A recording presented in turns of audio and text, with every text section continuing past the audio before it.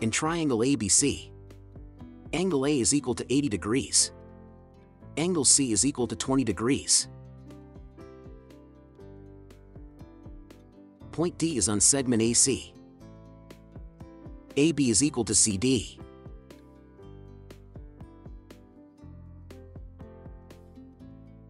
What is the angle of angle BDA?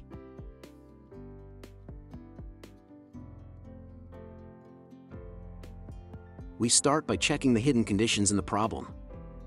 Angle A is equal to 80 degrees. And angle C is equal to 20 degrees. So angle B. That's equal to 180 minus 80 minus 20. Which is equal to 80. So we know that triangle ABC is an isosceles triangle. Let's check the relationship between 80 degrees and 20 degrees. 80 minus 20 is 60. And 60 degrees is a special angle.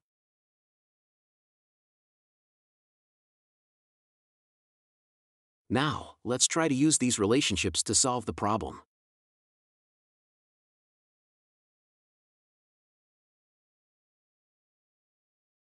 Let's make a triangle BCE that is congruent to triangle ABC. Let them overlap at base BC. The overlap creates an angle of 60 degrees.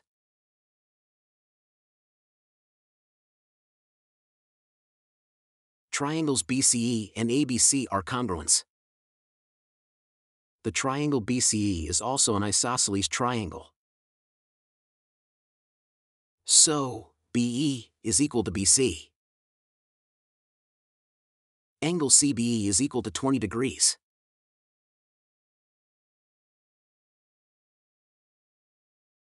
Let's go ahead. Segment AB is equal to EC.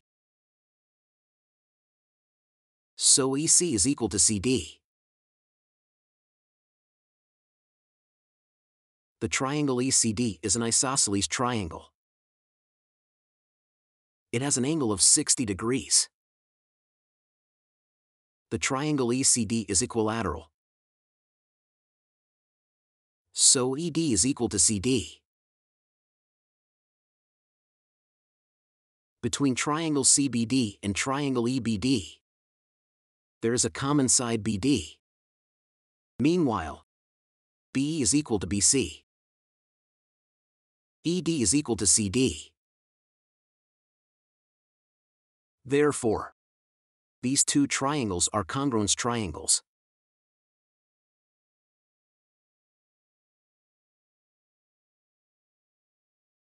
We get angle CBD is equal to angle EBD.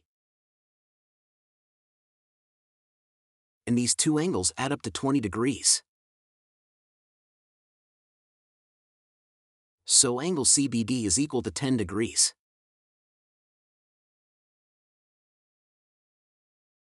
We know angle BDA is the outer angle of angle CBD and angle BCD. Therefore, angle BDA is equal to 10 degrees plus 20 degrees, which is equal to 30 degrees. so x is equal to 30 degrees. Thanks for watching this video. Please don't forget to thumbs up and click the subscribe button. Turn the bell on, and you won't miss my future videos. See you next time.